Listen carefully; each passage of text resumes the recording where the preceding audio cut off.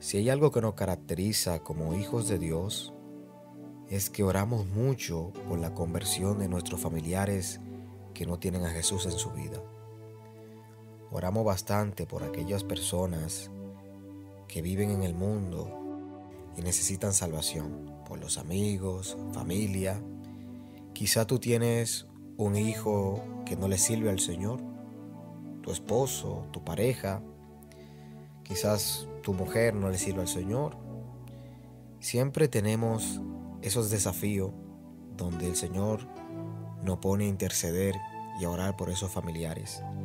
Y hoy quiero hacer una oración por cada una de esas personas, de tus familias, de tus amigos, esas personas que tú le estás pidiendo a Dios para que vengan a Cristo, para que se arrepientan y se conviertan a Cristo, que puedan recibir la salvación a través de Jesús. Hoy quiero levantar un clamor de oración. Sabemos, mis amados, que la oración es la llave. Y te motivo a que no dejes de orar por esas personas que tú le estás pidiendo a Dios para que se arrepientan, para que ellos vengan a Cristo. Sabemos que hay una guerra. El enemigo trata de ponerle ceguera a las personas para que no vean la realidad. El enemigo trata de ponerle soldera espiritualmente hablando para que la gente cuando oiga no reciba esta palabra. Pero la oración de justo puede mucho. Si oramos con fe, Dios lo hará. Y le vamos a pedir a Dios su misericordia, su amor, para que el Señor esté tocando el corazón de esas personas. Que el Señor toque realmente a aquellos familiares y amigos que necesitan la salvación, para que vengan a Cristo. Mira lo que dice el libro de Lucas capítulo 15, versículo 10. De la misma manera os digo, hay gozo en la presencia de los ángeles de Dios por un pecador que se arrepiente. Amados hermanos, hasta los ángeles se regocijan, se alegran por cada pecador que se arrepiente, que viene a Cristo, que viene a la verdad, que viene a la luz. Y nuestro deber como hijos de Dios es orar y interceder por aquella persona para que venga. Hoy en día tú le sirves al Señor Jesús yo te puedo asegurar fue porque alguien oró por ti.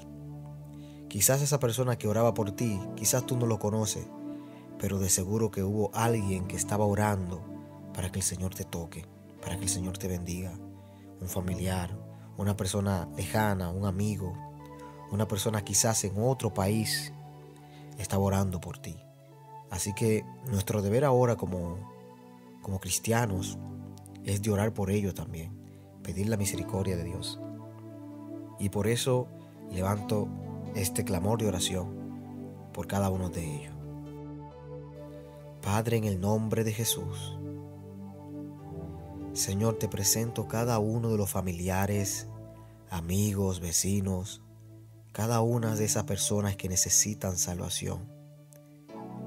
En este momento yo levanto un clamor delante de ti, Señor, pidiéndote Dios que tú toques los corazones de cada uno de ellos y que tú le hagas entender de que ellos necesitan a Cristo, de que ellos necesitan salvación.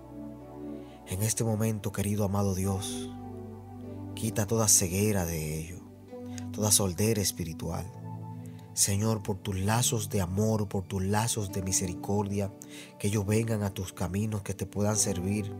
Te pido, Señor, por cada hijo que se ha apartado de, los caminos del Señor. Mira esas mujeres, esos padres, esas familias que están orando por la conversión de sus hijos, por la conversión de su pareja, Dios. En el nombre de Jesús, Dios mío, le arrebatamos al diablo las almas para Cristo le arrebatamos las almas a los demonios. Y en el nombre de Jesús proclamo salvación sobre tu casa. Proclamo salvación sobre tu familia. Tus hijos no le van a servir a los demonios, tus hijos le servirán al Rey de Reyes y Señor de Señores. Y en el nombre de Jesús yo declaro la salvación del Señor Jesucristo sobre tu familia, sobre tus hijos, Aun si tu esposo o tu esposa no le sirve al Señor, yo declaro la salvación para ello. Señor, ten misericordia, Padre amado. Tú conoces las personas que están sufriendo por aquellos familiares que están en el mundo, Dios. Yo intercedo, Dios mío, en este momento pidiéndote tu favor, pidiéndote tu misericordia, Dios de los cielos, Dios de Abraham, de Isaac, de Jacob.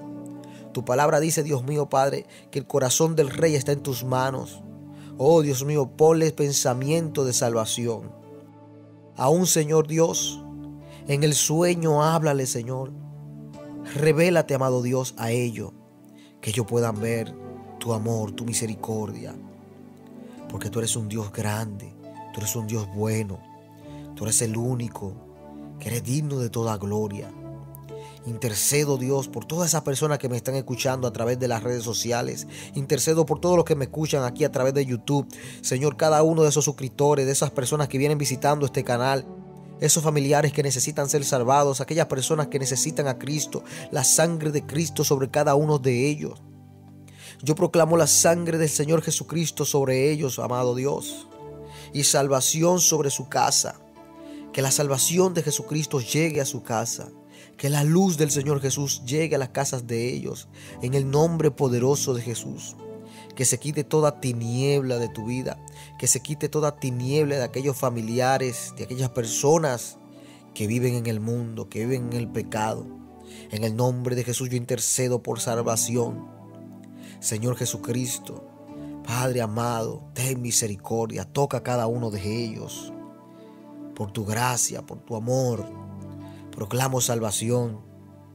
Ese hombre, Dios mío, Padre, que durante años no ha querido venir a tu camino.